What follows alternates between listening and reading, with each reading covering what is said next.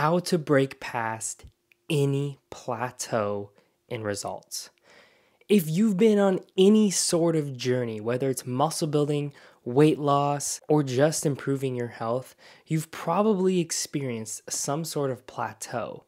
And the last thing you want to do is stay stuck in that same position. So today, I'm going to break down two different aspects of breaking through a plateau. Number one, how to prevent and break past any muscle building plateau. And number two, how to break past any weight loss plateau that you may have experienced in the past or you're currently experiencing now. So let's dive right into this. By the way, if you're new here, my name is Coach Tyler. I've been a personal trainer and online coach for the past six years, and I've helped over 455 clients completely transform their lives. And I'm gonna use that experience to teach you how to break past any plateau. The first aspect of hitting a plateau I'm gonna break down today is muscle building. And I'm gonna give you four tips on how to break past a muscle building plateau. If you've been here for some time, you know how important it is to build muscle in order to speed up your metabolism, to see even better weight loss. But also, if you're trying to shape and sculpt your body, building muscle is the best and easiest way to do that. So, one of the most common things I see is people doing the same thing over and over, expecting a different outcome. That is literally the definition of insanity, and a quote by Albert Einstein. Now, in order to break past the plateau, you most likely need to change something you're doing. So, when it comes to building muscle, what I tend to see a lot of people do is they stick to the same rep range. And so, what we have to do is we need to shift that rep range. If you're always lifting heavy, you need to shift that rep range to maybe doing, you know, 15 to 20 reps to completely change. Here's the thing every rep range, whether that's 1 to 6 reps, 8 to 12 reps, 15 to 20 reps, all of them build muscle. And the one that's going to be best for you is the one you're currently not doing. So you need to do the rep range that you never really tend to do. This is actually going to send a new muscle building signal to your body and ultimately help you continue building muscle. Typically, people will plateau anywhere between three to six weeks of doing the same thing. So I like to phase our clients' programs. Every four weeks, we change rep ranges to prevent them from hitting plateaus. But if you are stuck at a plateau, like I said, step one would be to look at your rep range. And if you're always in the same one, go ahead and change that. You will see a breakthrough in your muscle building results. Number two is tracking your volume or tracking your workouts in general. If you have no idea what you're gonna do every day you show up to the gym, how do you know you're actually progressing? How do you know you're getting stronger? How do you know what you're actually doing?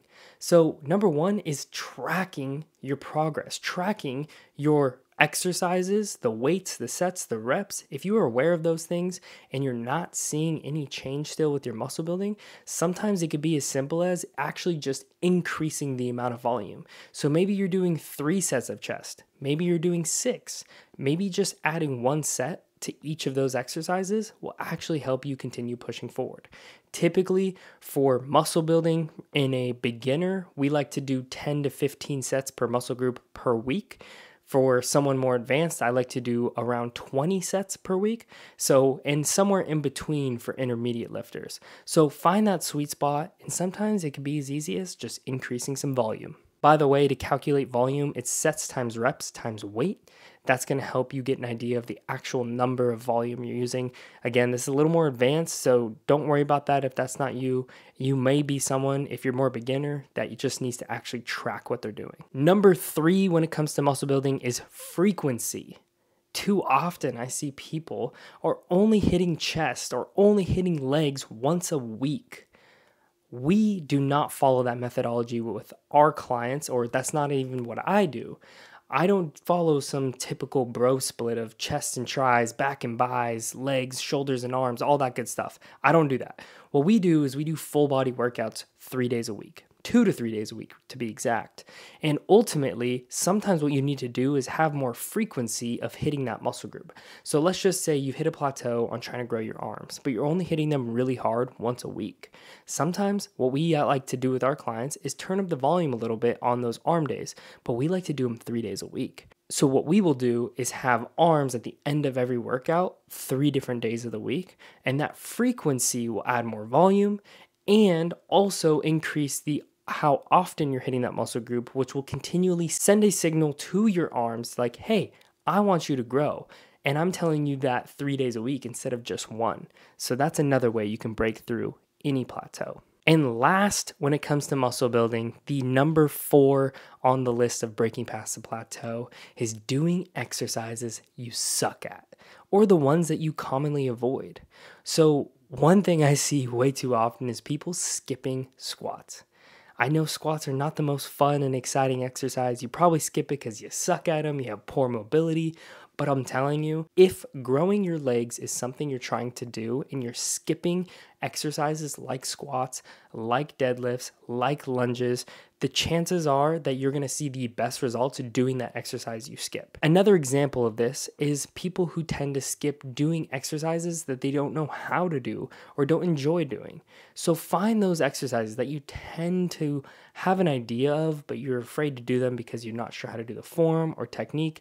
By the way, there's like hundreds of videos online and on YouTube and of people instructing how to do form properly. So don't be afraid to step outside your comfort zone. Try new exercise.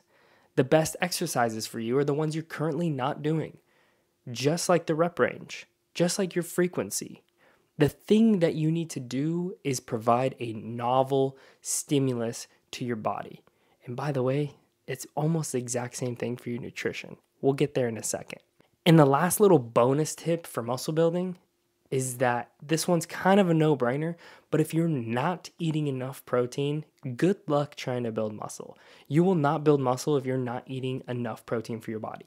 Take your body weight or goal weight, multiply that by 0.8 to see the minimum amount of protein you should be consuming on a daily basis. If you want to maximize your muscle gain results, eat one gram of protein per pound of body weight, and that will definitely help you move closer to your goals.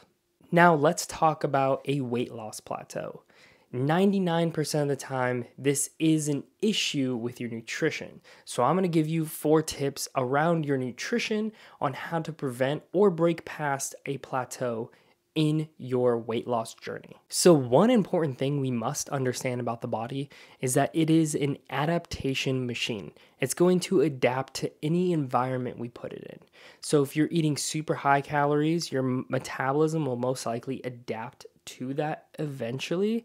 And when we are starving ourselves too often or not eating enough calories, our bodies will tend to adapt to that. So, if you're eating 12 to 1500 calories on a regular basis, your metabolism will slowly tamper down to meet that demand of the food. Your body's always fighting to find homeostasis, that sweet spot, and it's always going to meet it where you want it to go. And so, if we're always in a deficit, your metabolism will kind of meet you at that point. So, sometimes the easiest way to break through a weight loss plateau is actually eating a little bit more food and then going back to that deficit. So, this is what we call diet breaks with our coaching clients. So, sometimes what we'll do is we'll try to focus on eating in a deficit for 8 to 12 weeks and around that point we tend to find our clients start to plateau on their weight loss. So, we will take a week add two to 500 calories for a week, and then come right back and they'll start to lose weight again. So that's one way you can break through your weight loss plateau. The second way to break through weight loss plateau is actually increasing protein. So, one of the things that we tend to find is that a lot of people have a hard time with either cravings or wanting other foods, not feeling satisfied or not being completely full from food. So, one of the beautiful and most amazing benefits you get from protein or a high protein diet is satiation, meaning that you feel more satisfied and full after eating food. So, sometimes simply just increasing your protein intake, number one, that helps with muscle building and speeding up your metabolism. And number two, it actually helps you prevent you from wanting or needing other foods, from being hungry all the time. This will help prevent you from binge eating late, late at night, but also make you feel more satisfied from the meals you're already eating. Now, the third way to prevent a weight loss plateau is actually sleeping more. Sleep has a ton of impact on our weight loss journeys. Number one, and most awesome thing about sleep, it's free. You don't need to spend any money to get more sleep. You just have to plan ahead. By the way, I made an entire video on how to improve, how to fall asleep faster, how to sleep better, how to get better quality sleep, and most importantly, how to wake up with more energy on a daily basis. So go watch that video. I'll tag it somewhere in the description below. But as it goes for sleep, sleep also has a huge impact on our cravings. When you have less sleep, it tends to increase the amount of cravings you have on a daily basis. So, this can definitely contribute to our weight loss or take away from our weight loss journey if we're not getting good quality sleep. This also helps with recovery from our workouts, which again is going to help contribute to better results. So, don't sleep on sleep. Sleep is going to be an important factor on seeing great results, whether it is muscle building or weight loss. And the last tip I have for breaking through a weight loss plateau is tracking your food accurately. I did a bunch of reading before I filmed this video, and I found out that actually 72% of people that track their food overestimate how much they're actually eating. So this might be a good time for you to make an investment, a $10, $15 investment into a food scale so you can accurately weigh and measure your food. This is actually one of the problems I have with going out to eat. You never really know how many calories are in it because you know, at Chipotle, for example, the scoop you're getting isn't always the same, or the size of the food that you're getting at whatever restaurant you choose isn't always the same. So, sure, it could show the calories on the menu, show the calories online, but it's not always that accurate. So, making your own food and actually weighing it is going to make a huge difference in the accuracy of the amount of calories you're consuming. So, eating at home is going to be a much better way to accurately count and track your food so you can actually see how much food you're consuming on a daily basis basis. This also reminds me of food labels. You know, one of the weird things that I learned is that food labels say whether it's on a protein bar or any packaged food, really, eh, the FDA actually allows a 20% wiggle room on all calories on a nutrition label. So, as you know, Protein bars are typically advertised as being a high protein, low calorie food. But what most people don't realize is that it would probably be in their best interest to make their calories 20% lower on that bar so they can sell it to you more. Without us even realizing we're eating more than they're actually telling us. So be mindful of the calorie labels in the food you're actually consuming because it may actually be more than you think it is. So, that being said, I just gave you eight amazing tips on how to break past the plateau four for nutrition and weight loss, and four for building muscle. I hope you found a ton of value in this video and I hope you can go implement these things. And what I would love for you to do is come back and let me know, shoot me a message on Instagram or drop a comment on the YouTube video and let me know if and how it worked for you. And if it didn't, let me know as well. I can give you more tips and advice on how to break past this plateau that you're currently stuck at. I hope you enjoyed. Thank you again for coming and watching this video, and I hope to see you on the next one. Peace.